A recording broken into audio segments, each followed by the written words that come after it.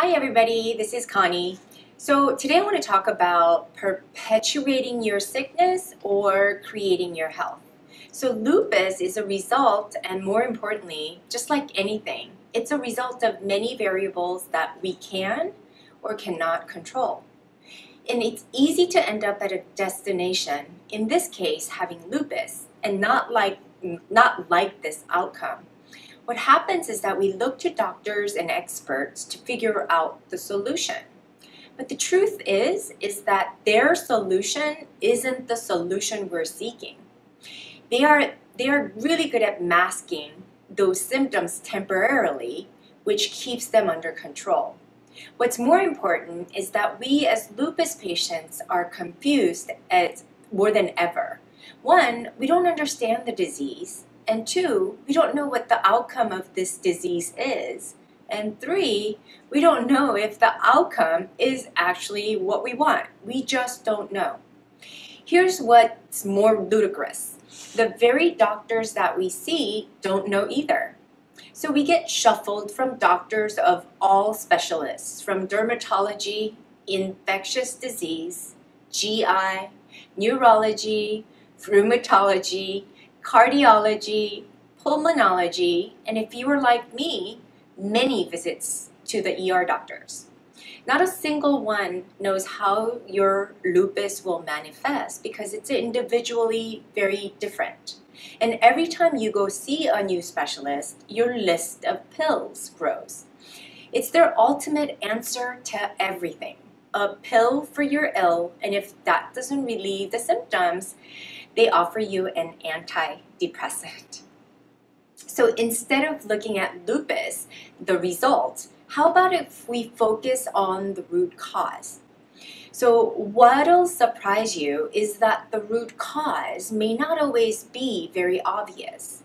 It starts with your genes, antecedents, triggers, and perpetuators, which leads you to the result. And in this case, it's lupus. Lupus is only the result. We can't change the result. We must look at what came before. We are so conditioned in the medical sciences to study various diseases, which are the results, but don't spend time on the cause and fixing the cause because there's very little profit in prevention. This is the truth. Tell me how many times your doctor talked to you about lifestyle changes like eating, sleeping, exercise, your relationships, potential mold in your house or amalgam fillings, or checking your food sensitivities, for example. We're not simply parts of a body, we're a whole being. So cardiologists specializes in the heart. Nephrologists specialize in the kidney, I'm sorry, nephrologists specialize in the kidneys. Neurologists specialize in the nervous system. And ER doctors is all about triage to get you from one place to the other and get you out of the hospital. They don't collaborate to the extent that they will take care of the parts of you. How do I know? Years working in the hospital with an interdisciplinary team to treat patients that are seriously ill. I've been on this side, and believe me, it's not promising.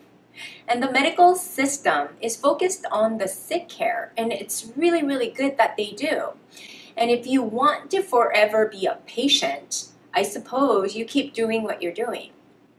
But patient by definition, is a person receiving or registered to receive medical treatment.